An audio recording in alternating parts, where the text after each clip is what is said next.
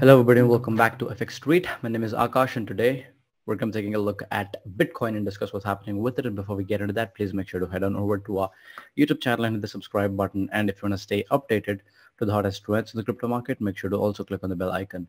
You can give us a follow on Twitter at FXS Crypto. And if you enjoy the content that I put out, make sure to give me a follow as well at Mangeko with a zero at the end. Uh, you can join my Telegram group by clicking on this link here and my YouTube channel by clicking this link up here. Right, so let's get into Bitcoin um, Bitcoin price has been in a distribution phase for quite some time. If you checked out the, the weekly article that I did last week and the article that I did on Monday and the recording that I did on Monday, right?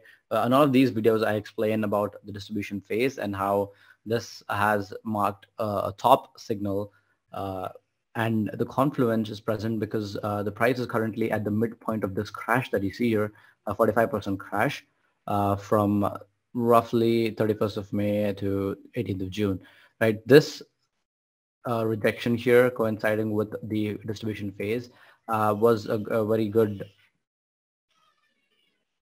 up signal, which kind of uh, made me short Bitcoin. I think I shorted Bitcoin somewhere around here.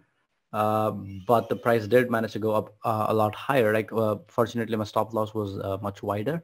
So I am still in the short position. Uh, right now, what I'm expecting is for the price to sweep the Monday's low, uh, in which case, like, honestly, I don't, I don't expect the Monday's highs and lows uh, to kind of play out right now.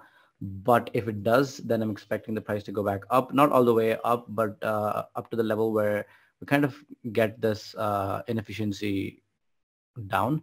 And once that's done, the price could continue going lower right? Uh, but that said, there uh, there are two important levels that you should uh, be paying attention to. The first one is the 30-day moving average that you can see here, the red one at roughly 23.2k.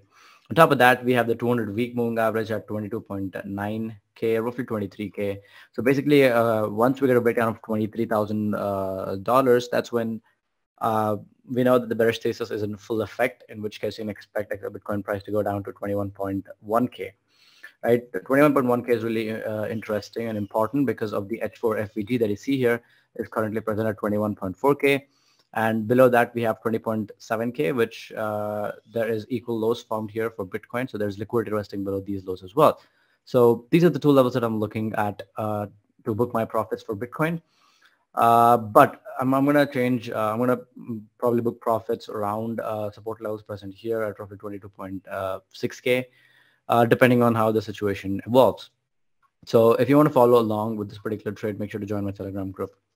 Uh, that's pretty much it for today's analysis for Bitcoin. If you enjoyed this, please make sure to like, comment, and subscribe.